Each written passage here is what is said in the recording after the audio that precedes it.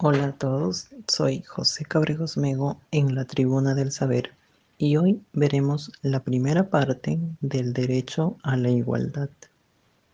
Partiendo del concepto, nos asiste este derecho por el común denominador de poseer dignidad humana, derecho ya tratado en publicaciones anteriores, así que te dejo el enlace debajo. Además de tener la capacidad de razonar y de relacionarnos como seres gregarios es decir, dentro de una sociedad. Todos somos iguales en la dignidad humana y los demás derechos. Por lo tanto, debemos recibir un trato igual en los aspectos posibles de nuestra vida. Es así como se prohíbe la discriminación, es decir, impartir tratos diferentes sin una justificación. Solo se puede tratar de manera desigual a los desiguales, pues a los iguales se les trata igual. Y menciono lo de los desiguales para referirme a tratos diferenciados que pueden encontrar justificación en nuestras capacidades y aptitudes diferentes como persona.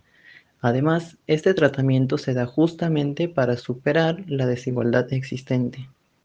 La igualdad se puede concretar en el trato igualitario que recibirán los hijos nacidos dentro y fuera del matrimonio, por ejemplo, o en las obligaciones de ambos padres respecto de los hijos. Asimismo, puede verse reflejada en una diferencia justificada al permitir que un trabajador que sufre de asma no realice trabajos a muchos metros de altura, sino que en su lugar se le asignen otras tareas. En este caso sería más bien injusto tratar igual a situaciones diferentes. Recuerda que para no extender este video, estaré tratando el tema por partes. Visita la Tribuna del Saber en Facebook. Te dejo para mayor facilidad el enlace en la descripción.